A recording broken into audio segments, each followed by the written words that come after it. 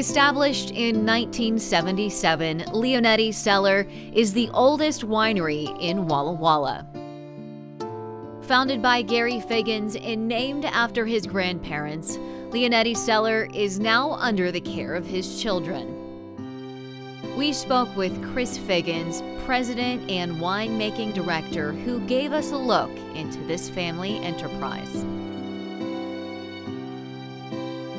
So, your grandparents, talk to me about them, where they came from, and why Yeah. they decided to come over to Walla Walla. Uh, so it was actually my, my great grandparents was the Leonetti side, and they, they came from Calabria, Italy, which is the, the toe of the boot, and a little town called Serra Pedace. And they came to Walla Walla like a ton of other Italians did uh, around the turn of the century. They came in 1902, and it's just promise for a you know better life, economic opportunity, and and uh, so they came out and they were truck farmers on the south end of town. They raised everything, you know, corn, onions, um, you know, all kinds of animals, and and uh, a big family, of course, being Italian Catholics, and and uh, so my grandma Leonetti married my grandpa Figgins. That's the uh, Leonetti Figgins connection. Okay. And, th- and then when my dad started the winery, my mom and dad in the 70s, uh, my dad decided to name it after the Leonetti side because that's where he was always exposed to the home winemaking and and uh, they had a small vineyard but never never made wine commercially. And he named it after the Leonetti side and and then so when I started that Figgins project, I decided to name it after the other side. They were the first winery here in Walla Walla. Mm-hmm. What what got them? Well, uh, so Dad was in the in the late '60s and, and '70s. Um, Dad was in the Army Reserves with Rick Small at Woodward Canyon Winery, and they were stationed down at Fort Ord, California. And the two of them would, on their you know, weekend warrior trips, they'd they'd take side trips into wine country, and they they both just got bit very hard by the winemaking bug, and started home winemaking and uh, you know together at first and then uh, kind of doing their separate efforts and uh, you know comparing them together. It's like my first wine memory as a kid is dad and rick tasting wine together and playing guitars. And then um, dad uh, my folks released their first wine in 78 uh, bonded in 77 first uh, cabernet in 78 and uh, he was a machinist. So he, he my dad took this uh, eye for detail that a machinist has, as was my grandpa Figgins, and applied it to wine. And he's a really the first guy to, to take you know, Washington red wines and do it at a really high detailed level. And it's kind of the, the spirit under which we work still today. What are some of your memories um, growing up in the vineyard? Gosh, uh, just you know, doing just about everything. I mean, it seemed like um, I thought everyone's dad made wine. You know, it was just ever ever present, and you know, crushing after work after he got home. You know, working a ten-hour machinist shift to come home, and you know, mom's uh, scraping out bins on top, and dad working the crusher, and uh, it was just you know, it was kind of ever present in our lives. Was winemaking. Uh, save up its vacation for October to uh, you know, for Yeah. crush, and um, just always in the vineyards, always going out to my uh, my great uncle's uh, Leonetti place to ten vines, and right on the tract with my dad, and I just thought it was the greatest thing. So I've I've never known a life without wine in it in one form or another. so, how many employees do you have at Leonetti, and combine that with the Figgins Winery? Yeah, um, in total we're about 30 employees with our you know our vineyard crew, all our admin and production in the in the wineries. So um, that's uh, you know I was my parents' first full-time employee. So pr- pretty proud of that. That um, you know take care of 30 families and and uh, they take great care of us and and um, it's just it, it's really fun now. You go downtown to a restaurant and you know like everyone and like so many people involved in the wine industry, whether Yeah. from a from a hose dragger to an owner to everything, and uh, it's really gratifying. What do you see for the, the future of Leonetti and Figgins? Gosh, I think um, you know we're just going to continue to push the quality envelope of what what we do, and and um, you know stay focused on that in terms of you know what happens with the the wine industry in Walla Walla in general. I see nothing but continued growth, um, and the good reason you know for that is our, our market's not just for you know local tasting room traffic. It's it's national and even more and more international all the time. So I think you're going to continue to see the wine industry grow here and associated hospitality, restaurants, you know, hotels, etc., um, and all the ancillary stuff that goes with it. So, but for us, for now, we're staying focused on what we do qualitatively, and and uh, I'll be growing my my Oregon, my Toil Oregon uh, Pinot Noir brand, and and um, keeping things um, you know unchanged here from a size perspective, but just continuing to focus on quality.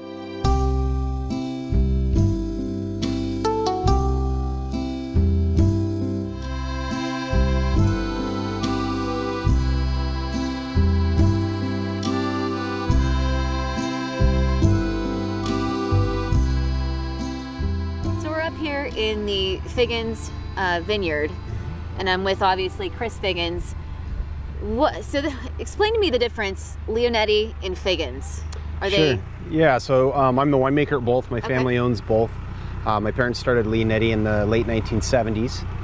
And um, Figgins is a single vineyard project. So Leonetti, we make varietal wines from um, uh, several different uh, vineyards throughout the valley, whereas Figgins is just this single vineyard. I found my dream site, and uh, which we're standing in here, and uh, planted it to Cabernet Merlot Petit Verdot, and it just goes into a, uh, a single vineyard wine, uh, simply labeled Figgins. It's that old world model where the the, the vineyard, the winery, the wine is just is, is one uh, one congruent thing.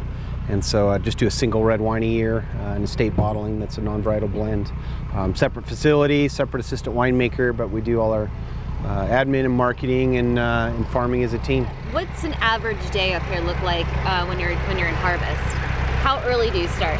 Oh gosh, uh, at daybreak, uh, generally, you know, crew gets started picking uh, like we are today at daybreak, and you know, we're usually done picking by 10 or 11, depending upon the block. Uh, get it done early while it's cool. Then the rest of the day we spend processing, uh, um, sorting, and crushing on the crush pad. Now you guys do everything by hand up here. We do, yeah. Everything's hand picked and um, hand sorted, and we make about 20 hand passes a year, so it's it's a lot. How many workers on average do you have up in the vineyard working? Uh, we've got uh, the crew you see here is our full-time vineyard crew. We got about 14 guys, and uh, and that's it. We don't hire extra guys for harvest. It's um, the same guys who do the same work all all year long, so they're they're intimate with every one of these vines, and um, it's kind of their uh, end of year reward to get a to get to harvest them. How has the, the weather this year affected uh, the grapes? Oh, it's been an awesome year. We had uh, you know super early start, early April, early May, but then uh, we've had just a pretty mild summer and uh, just this long extended uh, August September hang time window. So um, early quality that we're seeing is just phenomenal.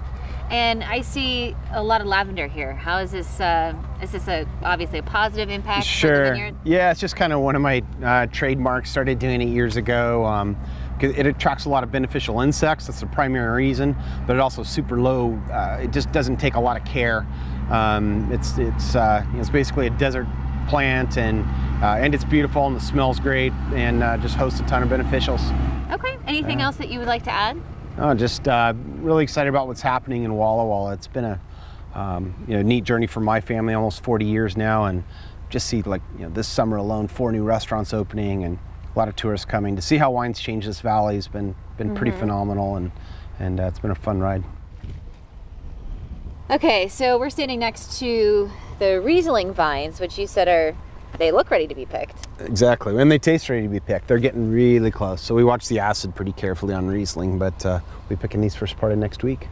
And you were talking to me about the pairing and and all that. Just explain to me what you just said to us. Oh, about so yeah. so- yeah. So pick. Go ahead, pick one. And Oh, okay. So see, like, mm, the darker ones, the uh, brown ones, been in the sun a little more. And just that awesome, uh, awesome flavors, you know, tropical flavors we start to get, and that's what makes um, makes Riesling so interesting on the nose, and and uh, some of the more interior stuff with the canopy gives that great acid. That You mind if I try one? Absolutely. which one would be perfect to pick? Not that one right there. That's This one perfect, here? great. Yep. No, it is really good. Yeah, that tastes great. Normally is what people call the VSP Mm-hmm. for the positioning of the vines. You guys do something a little bit different.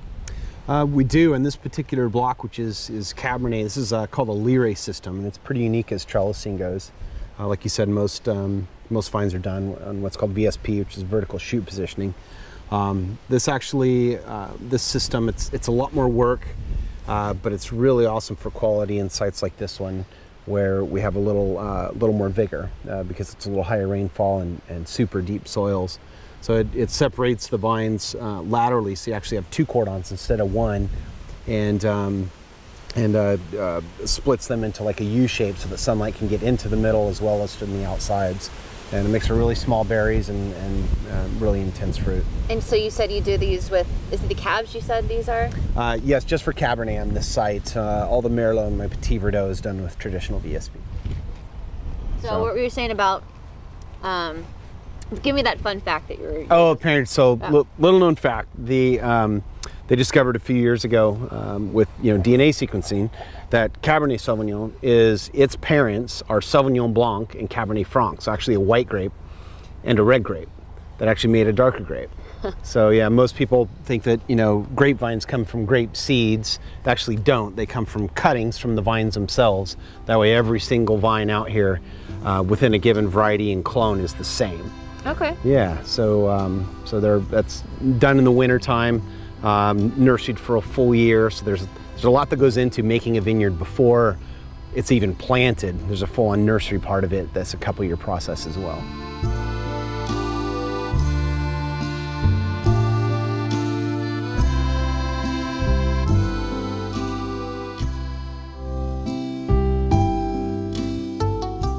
So we are now on the property of Leonetti Cellar, and we're going to do a walking tour for people that maybe want to come and get a tour. Is that available to the public right now? Uh, it's not, unfortunately. So this is about as close as they get. Uh, we just do a one-time a year deal for all our uh, main list customers, and first weekend in May where they come and pick up their wine. But otherwise, we're closed to the closed to the public. Stay focused on making wine. How many acres is the property? Uh, we've got about 82 here and about 30 acres in vine. Wow. Yeah. So where are we at right now? And I mean, this is just kind of a gorgeous picturesque yeah, it's view. just uh, it's our crush pad. Actually, it's a you know our courtyard, and then um, behind us here is our crush pad where we do all our processing.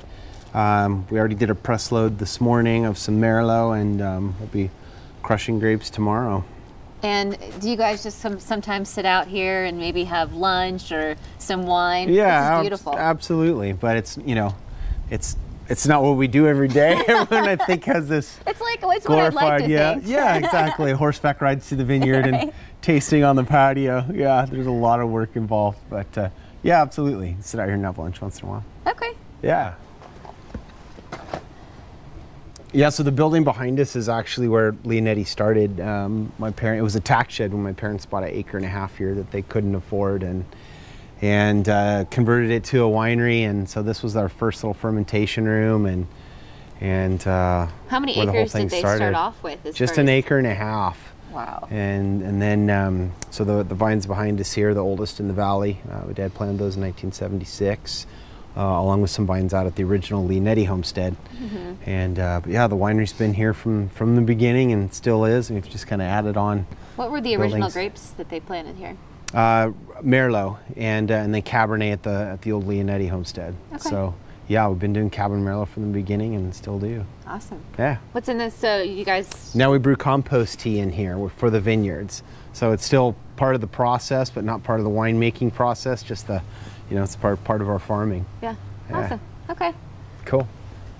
So where do you want to go next? Um, so uh, so this is uh, the original stone building that uh, my dad built, and um, a few neat things about it. Did he Um, build it by hand or Uh, like a lot of it, yeah. My my dad and my uncle and I collected every stone in this building.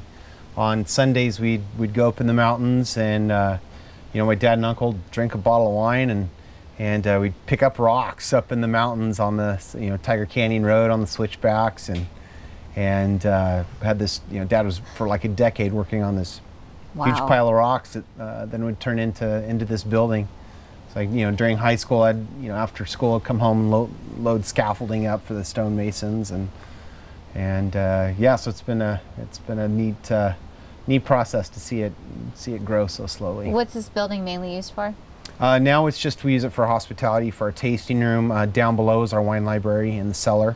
That was uh, the original um, uh, barrel room, but um, now it's just offices and our uh, our tasting room. My mom still she's the green thumb. She does all the every pot she does every year. She plants How all long of her does it all take of her her animals. to kind of? Is she the only one that takes care of plants around Um, here? she's, not the one who takes care of them. She's the one who plants them every okay. spring. She's like, I'm the. It's kind of her thing, you know. Um, so uh, this room that we're in now is our tasting room. So believe it or not, like on our spring release weekend, we have like 1,500 people through here. Wow.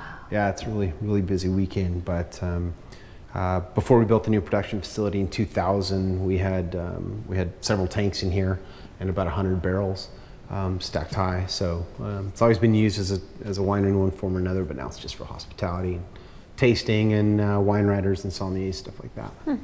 Those are my great grandparents over there on the wall the Leonettis. Oh, really? Yeah. Yeah, this is my uh, my great grandparents came from Calabria, Italy, a little town called Serra Pedace, which I now have a vineyard named after that. But uh, that's the hometown. My dad uh, has been there. I have not yet. And uh, those are my great great grandparents, Frank and Rose Leonetti. Me when I was much younger. Oh, that's cute. Okay, so now we are in the production. We're in our main production space, so um, which we're obviously busy right now being harvest. So we're bringing grapes in um, next week. Will be almost daily, and uh, so all these tanks will be getting full. Fermentation started, and it's uh, it's crushed. So it's our busiest time of the year. What do you guys? Um, what are the main grapes that you have at Leonetti? Um, Cabernet and Merlot. Cabernet is our number one, um, followed by Merlot, and then we do some uh, Sangiovese as well, and uh, kind of a new Italian variety for us called Aglianico uh, which I'm pretty excited about. Okay, and I, this is just a funny question because um, Jordan Small also said Merlot. Is there is there a true way to say it? Merlot. Merlot, but I, I know, but we, When you I go- always Merlot. No, no, no, it's Americanized. When you go to France, Is it- it's, oh, it it's really is. Merlot, yeah, Merlot. yeah. So I Yeah. asked her, she's like, "Oh, I'm not sure," but no, okay. Yeah. That is the true pronunciation. Merlot. Learn something Yeah, new. just think, just think like Mare. a horse, the mare. Yeah, you we'll forget it. Okay. Let's um, let's go down the cellar. Okay.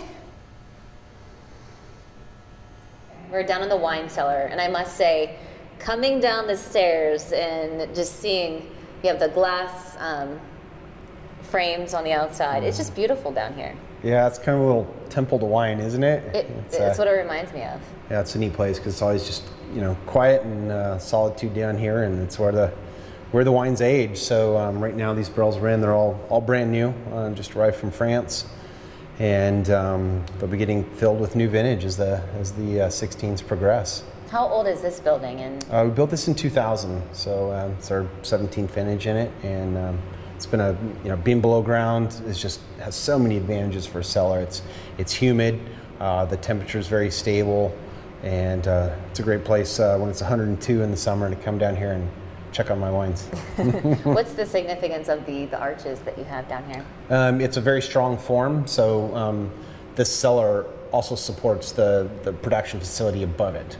So um, one, it's beautiful, you know, form and function, and you know, when it's done right, it's beautiful and structural, and so um, it you know carries that load from up above. That's why. Do you ever come just down here and have a glass of wine and sit in the wine cellar? Absolutely. I don't totally deprive myself. So this is something different that many Mm-hmm. folks don't get to see um, how wine is aged. Right. Yeah, so these are a little different than your typical uh, 60 gallon barrels. Uh, it's a 30 hectoliter, about 13 barrels, um, called Botti, which is what they're called in Italy. And um, it's uh, just builds complexity in the wine. We use this for various lots, and having that, that uh, different surface area to volume ratio, the wine evolves differently. Uh, you get this beautiful aromatic preservation in these. The, the trade off is you don't get the same tannin evolution on the palate. But um, it all ends up back together in the blend and builds complexity in the finished wine. How long in, a, in this? Um, about two years before it gets, um, you know, all the barrels get emptied and these and get final blended and then bottled. And then this is unique as well. Yeah, these are very cool. Um, so these are uh, they're clay amphora, um, and it's really the it's the oldest um, you know vessel used for, for wine. You know, the oldest evidence of wine they've ever found, which I think now is like seven thousand years old, was was also in clay. And um, uh, same idea as an oak barrel, like the, the it's it's porous, so the wine can breathe through it. But uh, it's uh, full of Aglianico, which is a new variety for us, an Italian variety, uh, which is the oldest documented wine variety in the world. Interesting. Um, so yeah, pretty neat. It's just so this is about as kind of a, a heritage product uh, as you can get, and a really fun fun experiment to be playing with. Oh, this is cool. What would uh, what would the label say? Like, would, would you be able to? We call it Aglianico, which Okay. is yeah the, the the variety. Would the the bottle though say how it was aged? Whether you know? Oh, these are- probably not, but you know, because we don't do like a back label, but I mean, we'd certainly on our website and otherwise, you know, educate the consumer about yeah. about how we made it, and uh, we like to be pretty transparent about that, and and uh, make the you know customer feel like they're part of the process. Very cool. Yeah. So to see how the wine industry has evolved here in Walla Walla, how does that feel for you guys, knowing that you were the first ones here? Oh, it feels great. I mean, I think it's probably particularly satisfying for my folks, just uh, you know, kind of having this dream to make a little wine, and now it's you know the single biggest driver of our economy, and all these new restaurants opening, and you know, just, um, tourists coming to town, um, you know, by, by droves, and uh, it's really great. And, and in some ways, it saved our town. We, you know, we were losing our um, our canneries, and a lot of our vertically integrated agriculture had gone to other places, particularly South America. And so to have the wine industry here um, is just uh, has saved uh, has saved our little town that we love so much. Thanks for joining us on our visit to Leonetti Cellar. Please join us next time as we visit another Washington winery.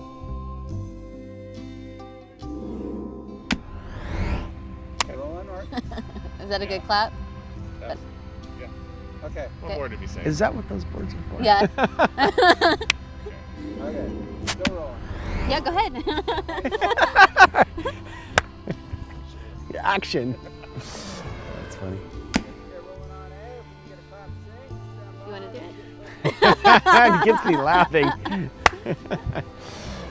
Rolling.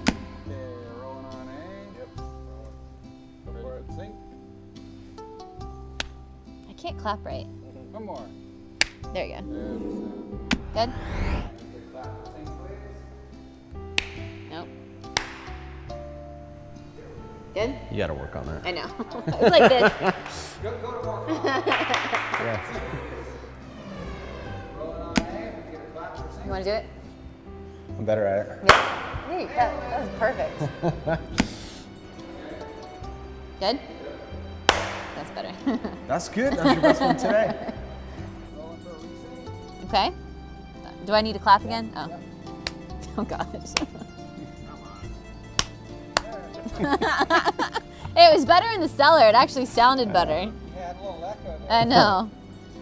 Um, good? Just just count us down if we get close. Okay. Rolling on A. Nope. Nope.